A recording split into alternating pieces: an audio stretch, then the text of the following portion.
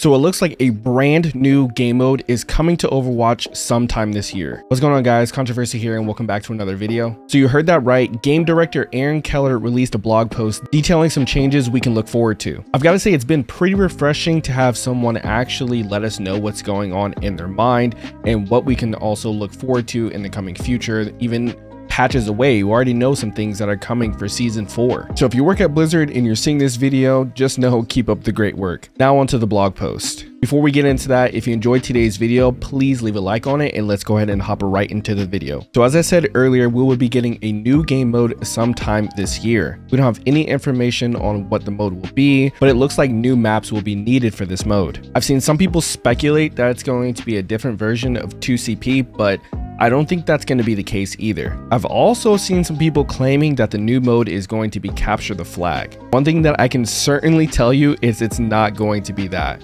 people on Twitter and plenty of people on TikTok are claiming that if you look at the patch notes from the Lunar New Year, you can see that they talk about capture the flag, but I can guarantee you they are certainly misunderstanding this. For starters, they told us capture the flag was coming with the Lunar New Year event, but it in fact came actually before the event. What we did get with the event though was capture the flag blitz. And the biggest factor as to how I know why it's not capture the flag is because it literally is already in the game. Like load up Overwatch right now and you'll see it's already selectable. So I'm guessing people just haven't been playing Overwatch and have this opinion on it or they just don't play competitive. But I can promise you this new mode is not going to be capture the flag. Now that that's out of the way, I also want to point out the blog post starts off with them apologizing and owning up to their mistake. If you're wondering what mistake that is, it's rotating maps, and map pools. Many people at the start of the season expressed a concern with rotating maps and map pools. I'm sure you yourself probably weren't a fan of this change either. Well, they realized this was certainly was not a good idea and they will be removing this change starting season 4 and going forward and they won't have this in any of the seasons following after. They state map pools. You were right,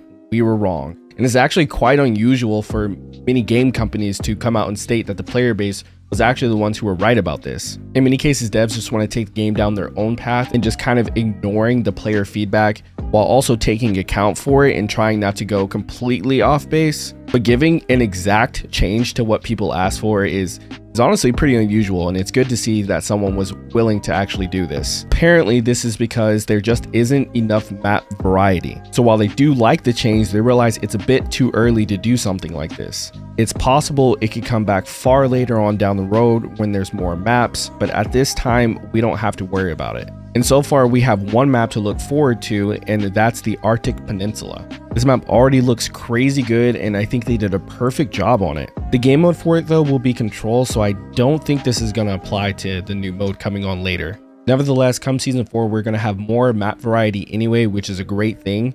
And the biggest reason why I feel like this is such a big deal is because having a smaller map pool also affected the matchmaking. Now, I know that may sound confusing, but honestly, it makes a lot of sense and could be another reason why matchmaking has been just so bad. So Blizzard stated that they heard a lot of people were getting Colosseo more frequently than other maps. Aaron Keller goes on to state that there is no code for this, but it isn't exactly random either. This is where matchmaking comes in. The matchmaker will try to avoid putting you in the same map. So let's say that a team that is most ideal for you to play against three of those members or even the entire team has already gotten done playing Shambali. And it doesn't mean that they just got done playing the map, but they've played it sometime recently. But you haven't played Shambali in like five or six games. So for you, it's very likely to come up. And even though the other team would be the most ideal and fair opponents for you, but since they just got done playing that map or played it more recently than you have, it's very unlikely for you two to pair against each other. Instead, you'll get paired against someone else that either could still be on your same level and also be pretty ideal, or they could be too easy or too hard. Blizzard themselves have admitted that these blowouts are happening and they're doing things to try and fix and mitigate them. I think this is another change that they're making to fix this issue. Having a larger map pool would open up opportunities to play against more suitable opponents more often because having a larger variety of maps means that it's likely that the people that you're are most suitable to play against probably haven't played the same map as you in a good enough amount of time. So now you guys can play against each other even if you guys some one of you have played it a little bit more recently than the other. But what this does is decrease the odds that they have played it recently and now you guys can play against each other more often. At the end of the day, what really matters is that they recognize it's an issue and that they are addressing it. Lastly, regarding events, it looks like they're going to be doing something for the challenges and the rewards. Previously, the way you unlocked rewards is that you had to participate in the event mode for that event. So if you remember Battle for Olympus, you had to actually play in that Battle for Olympus game mode and get a tremendous amount of eliminations in order to unlock the titles. You had to do it on each of the heroes. I believe there were seven. You had to do it on all seven of them in that game mode if you wanted to get the reward. And I think the amount of eliminations was like 300. So you had to get 2,100 eliminations on each of those heroes if you wanted to get all of the rewards. Now, if you're like me, you don't really mess around with these modes very much, so then you miss out on rewards simply because you choose to play the game a different way. This is actually something that's kind of weird considering challenges can be done in all game modes, so why is it limiting to just the event game mode? I mean, a game like Apex has events that have event game modes as well, but you're allowed to complete the challenges in any of the game modes and get the rewards from that. And it looks like this is exactly what Overwatch is going to be changing for their next event.